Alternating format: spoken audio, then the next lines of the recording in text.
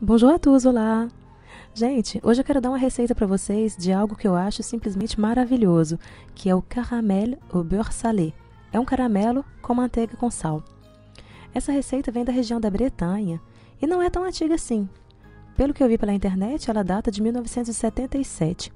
A Bretanha, La Bretagne, é uma região da França que fica no oeste e que é reputada pela utilização de manteiga com sal. A manteiga com sal ali é como se fosse uma instituição. Eu adoro. Esse caramelo é ótimo para rechear crepes, gaufre, cobrir sorvetes ou bolos, enfim, para fazer todas aquelas guloseimas que você imaginar. Os ingredientes são muito simples. Você vai precisar de creme de leite, açúcar, manteiga com sal e água. Para preparar também não é nada complicado. Você leva ao fogo o açúcar e a água e deixa ferver. É um pouco como se você quisesse preparar a, aquele, aquele sirop, aquele xarope para fazer marshmallow. Não sei se você tem costume de fazer isso. Só que nesse caso aqui do caramelo, você vai deixar a água secar ainda mais até obter uma coloração uh, um pouco dourada, um pouco ambre. Tá legal?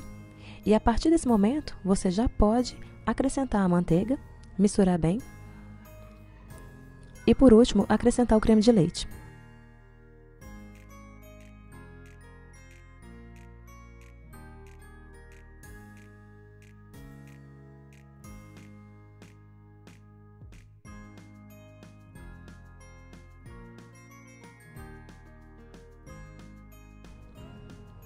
Depois você retira imediatamente o seu caramelo da panela que está quente, tá? Para poder parar de cozinhar, parar de, de queimar ali. Coloque em uma vasilha separada em um outro recipiente e em seguida você leva rápido para a geladeira para deixar esfriar. Depois é só consumir, como você quiser.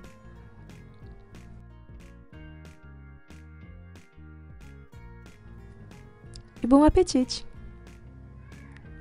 Para não perder meus próximos vídeos, se inscreva aqui no meu canal.